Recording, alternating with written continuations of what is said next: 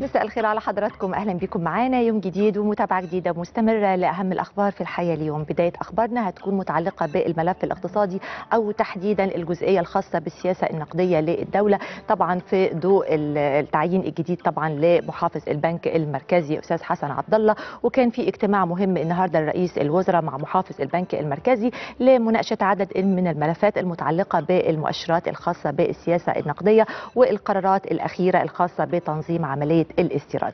إيه اللي حصل في هذا الاجتماع؟ ده اللي هنتكلم فيه مع أستاذ كمال ريان الصحفي المتخصص في متابعة شؤون مجلس الوزراء. مساء الخير يا أستاذ كمال برحب بحضرتك. أهلا وسهلا. أهلا وسهلا. يعني تفاصيل أكتر عن اللي دار النهارده في الاجتماع أستاذ كمال. الحقيقة كان في أكثر من ملف يعني العديد من الملفات كانت في اجتماع رئيس الوزراء مع محافظ البنك المركزي. طبعا يعني كانت أهم أو في مقدمه هذه الملفات استعراض أهم المؤشرات الخاصة بالسياسة النقدية. أيضا متابعة الانعكاسات الإيجابية المتوقعة للقرارات الأخيرة اللي اتخذها البنك المركزي خاصة فيما يتعلق بإلغاء الحدود القصوى لعمليات الايداع والصرف للأفراد والشركات. طبعا هذه يعني التدابير دي كانت اتخذت ضمن تدابير إجراءات أو تدابير مواجهة آثار جائحة كورونا وتم إلغائها مؤخرا. أيضا كان فيه يعني متابعة للإجراءات اللي ممكن يتم اتخاذها يعني في إطار زمني محدد للتعامل مع الموقف الاقتصادي الحالي وتداعيات الأزمة العالمية. طبعا حضرتك عارفة إن فيه متابعة مستمرة من جانب الحكومة ومن جانب البنك المركزي لتداعيات الأزمة العالمية وفي حرص ان يكون في تكامل وتنسيق بين الحكومة وبين البنك المركزي خاصة فيما يتعلق بالسياسات المالية والنقدية. أيضا كان من ضمن الملفات متابعة من رئيس الوزراء لتنفيذ قرار استثناء مستلزمات الإنتاج ولوازم التشغيل من العمل بنظام الاعتمادات المستندية. الحقيقة كان فيه تعليمات أو توجيهات من السيد الرئيس للحكومة بتيسير الإجراءات الاستيراد لمستلزمات الإنتاج في إطار طبعا إجراءات الدولة لتشجيع الصناعة.